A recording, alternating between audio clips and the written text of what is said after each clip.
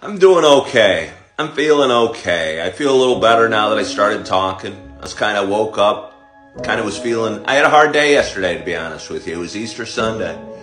Uh, I didn't have any huge plans. I'm uh, coming at you from Naperville, Illinois, a town of about 145,000 people, uh, 35 miles west Chicago, uh, west of Chicago. I'm uh, recently divorced for the second time. I have four beautiful children uh, that live primarily with their mamas.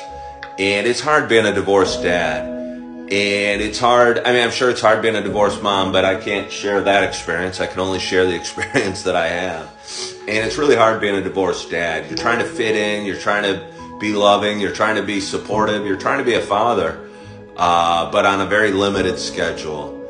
And yesterday was hard for me because I didn't feel I fit in. I felt like I was almost interrupted and I don't want to get all watery eyed on a Monday morning, uh, but I felt like I was kind of interrupted.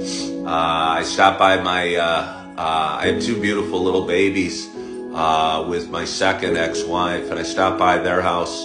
My plan was to pick up my kids and get them all together and take them out to breakfast and enjoy the day and bring them back to their mamas safe and sound. And I mean, it worked. It worked.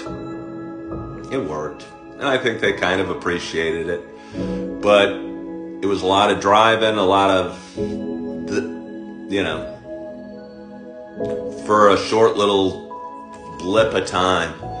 And looking at my fatherhood experiences, short little blips of time is kind of a bummer for me.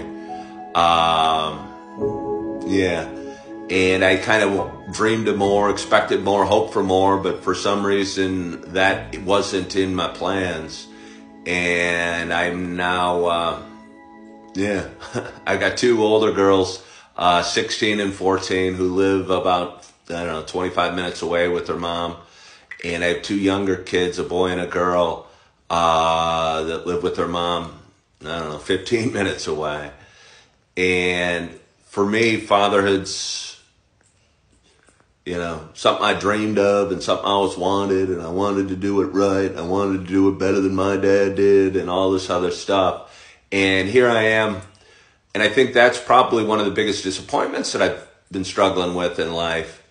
And one of my sadnesses uh, that I'm not with the kids when they wake up in the morning.